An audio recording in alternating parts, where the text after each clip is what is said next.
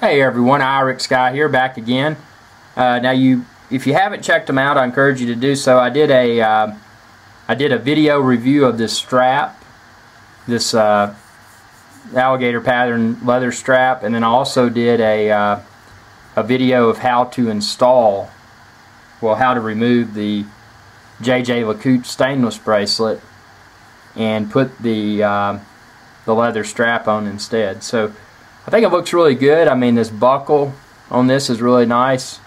Not too wide. That's a problem with a lot of uh, with a lot of aftermarket straps. They uh, they the, the buckle tends to be too big. And I think this one looks really good. And you can see the thickness of it. That's one thing with aftermarket straps. A lot of them are too thick for a dress watch like this uh, Jaeger LeCoultre Master Control.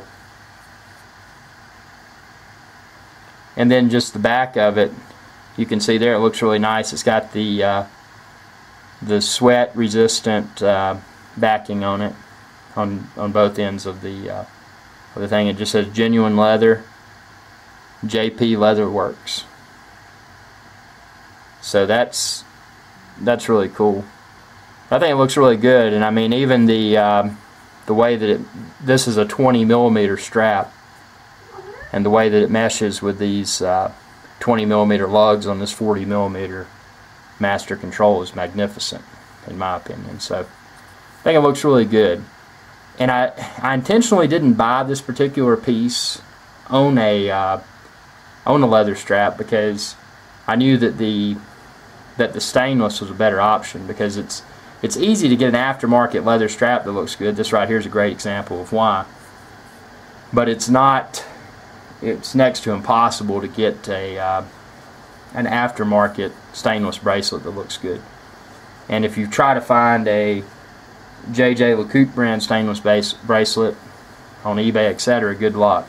They're, if, even if they can be found, they're probably used and they're probably overpriced and that's something you can't just walk into an authorized dealer and say, "Hey, I need to buy a, uh, I need to buy a stainless bracelet." They're not going to do. They're not going to sell that for you. So there you have it. Just thought I'd share this with the uh, with the fellow watch collectors.